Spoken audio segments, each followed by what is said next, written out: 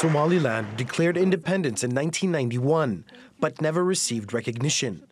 Now, the breakaway region of Somalia says it has been promised just that from one country, Ethiopia. This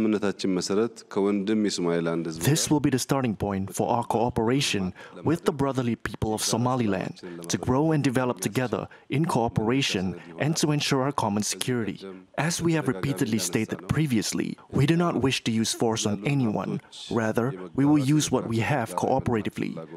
Following the announcement, thousands of protesters gathered in Mogadishu to express their anger. Somalis reject what they view as a failed attempt by landlocked Ethiopia to gain access to Red Sea ports. We came here to show that we are ready to defend our territory and our coastal lands. Not one inch of our territory is for sale. Somaliland leader Muse Bihi can't give it away.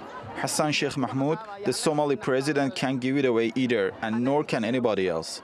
Somalia is hoping for support from a region that's already facing major security threats caused by Houthi attacks on Israeli and allied ships.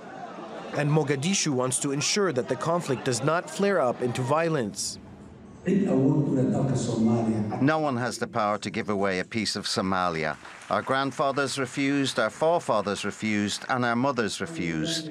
We ourselves refused to give away our land, and it is not possible. Somali people will never accept it. While Ethiopia may believe access to the Red Sea is vital for its economy and security, Somaliland's claim of independence is now a threat to stability in the Horn of Africa. Obaida Hitto, TRT World.